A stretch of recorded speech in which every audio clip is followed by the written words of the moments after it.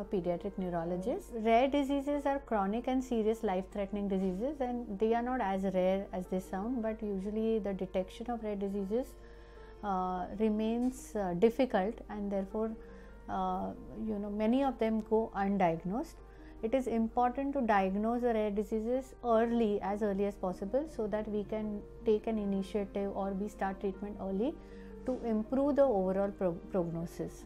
Um, uh, I support this uh, initiative taken by Lal Path Lab to create awareness regarding rare diseases amongst clinicians as well as normal lay people. I support the initiative of eRemedium uh, to bring uh, quality educative contents to the in the doctor's waiting area. I think it is an uh, excellent idea because many a times it happens that patients who are waiting uh, in the waiting area are waiting for as long as an hour and if we can educate them about the common disorders or the disorders which affect their children effectively in the form of edutainment or entertainment uh, the message about taking care of such children including preventive steps becomes easy for the parents. It can, and uh, e-remedium is developing content for doctors waiting room area which is an actually very innovative and interesting idea.